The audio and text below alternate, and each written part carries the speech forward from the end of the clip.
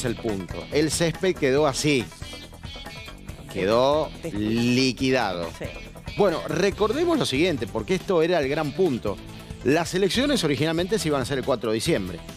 Por todo lo que ya sabemos, las apelaciones, la justicia, la intervención del padrón. Bueno, todo se postergó casi 15 días más. Entonces eso quedó ahí. Claro, no lo, no lo sacaron y ese pasto no lo regaron. No se regó, no le llegó el sol. Bueno, se marca con, los con el metal, con el peso. Había mesas, había sillas, había de todo. Además de los techos. Cuando levantaron todo eso se encontraron que, bueno, la bombonera está así.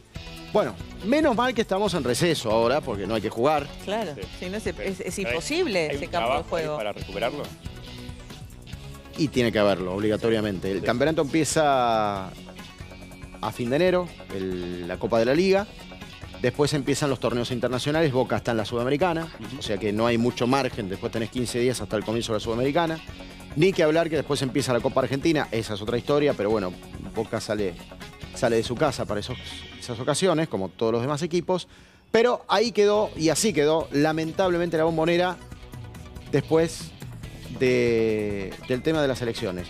No muy distinto al Monumental después de 300 conciertos, ¿no? Sí, Claro. más o menos, más o menos. Pero bueno, hay una dinámica distinta porque el césped de Monumental tiene otro tratamiento. Además, las carpas acá hicieron que se suspendieran muchas actividades sociales. en el Claro, club. Por ejemplo, claro. las, vis- las visitas a la cancha no se podían hacer. Y no. O sea, todos los que llegaban ahí decían, no, hasta que no saquen las carpas no se puede. Y bueno, Bueno, así quedó el césped de la cancha de Boca. A recuperarlo.